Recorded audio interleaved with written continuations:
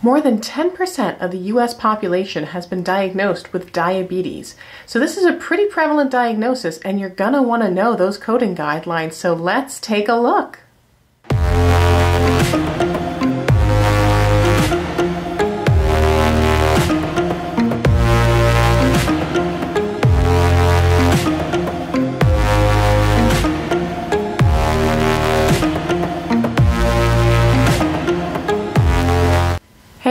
Victoria. I'm a medical coder, auditor, educator, blogger, YouTuber, and content creator for medical coding. And on my channel, I discuss tips, tricks, and tutorials to help you succeed in your medical coding career. So, diabetes. I have some friends down south that have told me that diabetes in their area is referred to as the sugar. And the reason being is because diabetes means that you have excess sugar in your blood.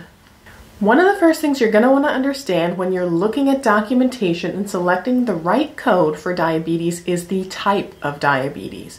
Most commonly, you'll see type 1, type 2, and then occasionally, on a rare occasion, you will see 1.5. Type 1 diabetes is often referred to as insulin dependent diabetes because these patients' bodies no longer produce insulin and they usually have to get it through an injection. They don't know the exact cause of type 2 diabetes, but it's assumed to be related to things like age, genetics, inactivity, possibly even diet. Type 2 diabetes isn't always necessarily treated with medication. It could be treated with things like diet change or changes in your activity or exercise levels. If the type of diabetes isn't documented, it actually defaults to type 2 diabetes.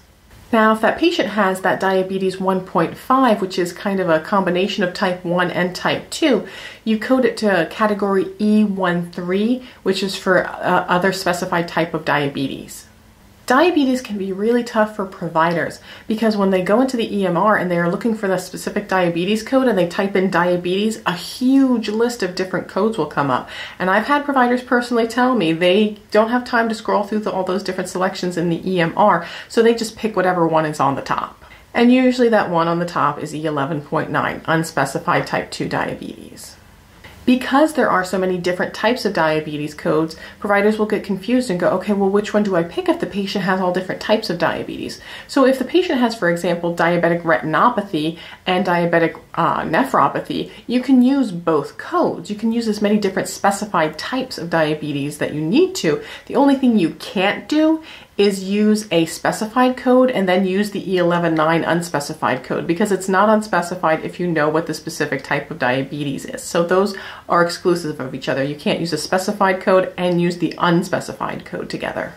And you have to be careful about your linkage because the guidelines with diabetes are that anything that comes under the term with in the alphabetic index is automatically assumed to be linked even if the provider doesn't specifically say they're linked. So for example, if the provider documents number one, diabetes mellitus, number two, foot ulcer, and you go into that alphabetic index and you look under diabetes, and then underneath that it says with, which is actually the first thing that comes up right underneath diabetes is that with category. Diabetes with foot ulcer gives you a combination code. So you used, even though the provider didn't say it's a diabetic foot ulcer, you, because of the coding guidelines, it says that's assumed to be linked. So diabetes with foot ulcer is assumed to be a diabetic foot ulcer.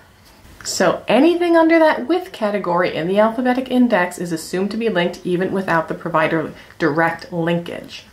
Now, the other thing you want to keep an eye out for when you're coding for diabetes is that insulin usage. Any current or long term usage of insulin has an add on code, Z79.4, and that's for the use of insulin or oral hypoglycemic drugs if it's documented. And be careful with those pregnant patients. If a patient is already has diabetes and they're pregnant, you would assign a code from category O24 and then add their normal diabetic code that you would add, either if it's an unspecified E11.9 or if they have a specified type, utilize that. Whatever that specified type of diabetes is from E08 to E13.